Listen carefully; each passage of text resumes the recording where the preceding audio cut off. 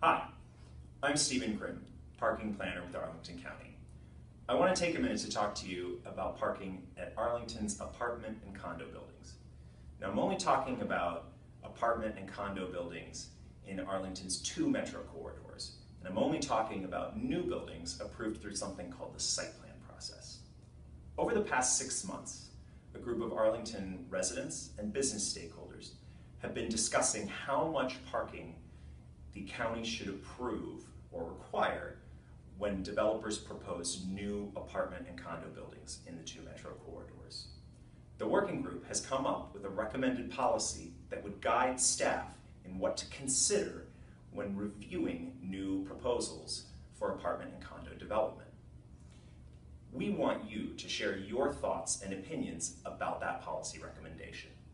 Using your feedback and the working group's recommendations, staff will craft a policy for the county board's consideration. On this webpage, you'll find links to a summary of the working group's recommendation as well as its full report to the county manager.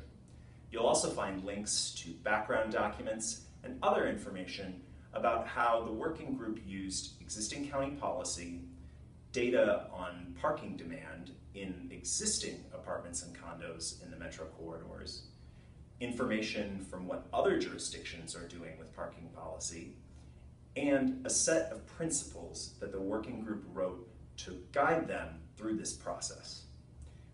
On behalf of the working group and the county staff, I thank you for your time and we look forward to reading